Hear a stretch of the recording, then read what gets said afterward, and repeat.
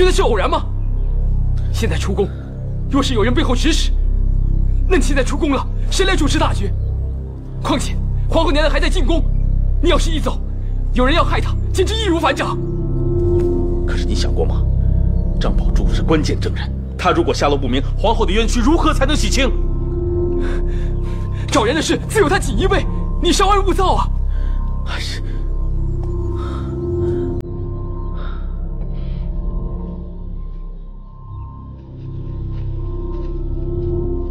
边看看。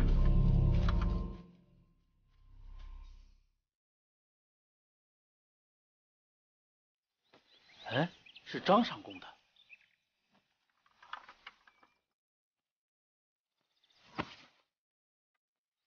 找到人没有？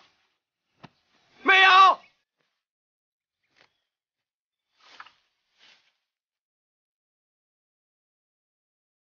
哈哈哈哈哈哈！好，回头郑重有赏。谢公公。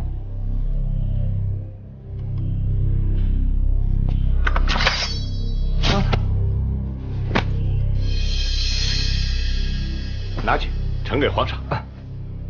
是。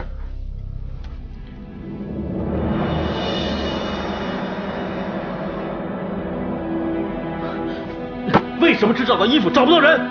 皇上息怒，小的只希望张尚宫是被山民所救了。不过那山里豺狼横行，毒蛇遍地，实在是……住口！我告诉你，现在给朕去找，如果找不到，你也不要回来见朕。是。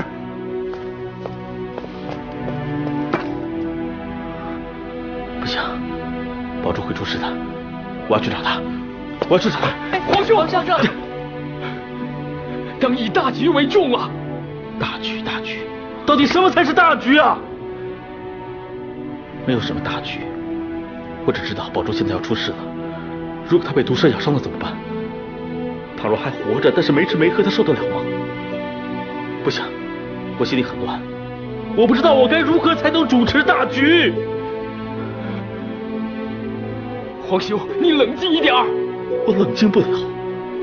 我是皇上，但我也是一个男人。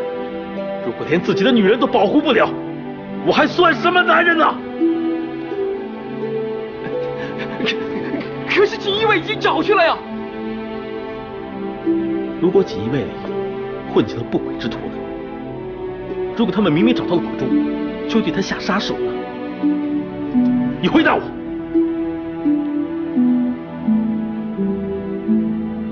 皇兄，你这是怎么了？我不知道怎么了，我只知道我要去找宝珠，她不能出事，她不能出事。那皇后娘娘呢？她就不需要你的保护吗？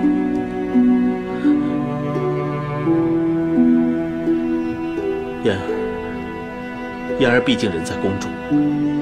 相对比较安全一些，皇兄，老五，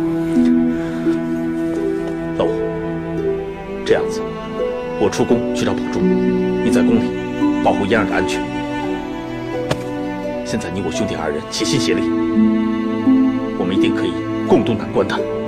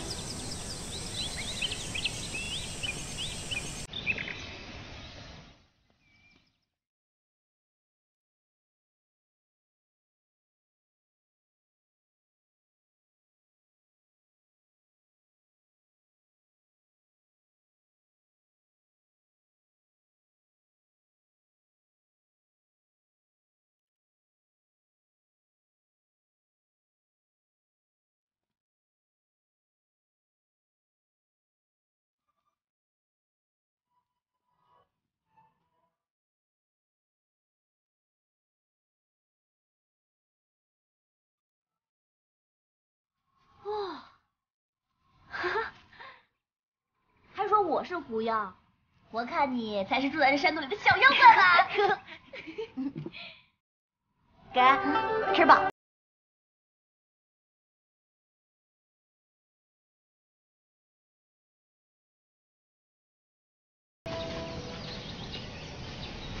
哎，不行，皇上，太危险了，不能下。不行，宝珠也许就在下面。哎，不行，皇上，让开！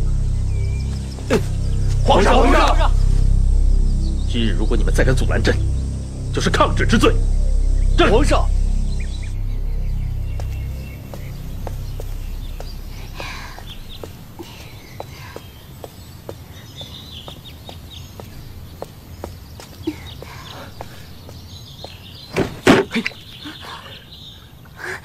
信王，我来。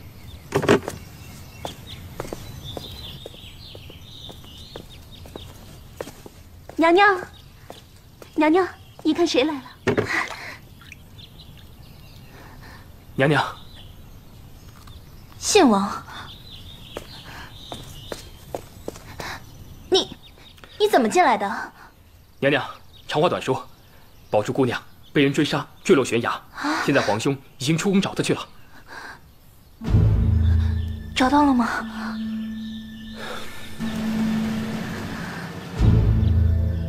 我是担心娘娘，所以过来看看。娘娘最近如何？我很好，王爷。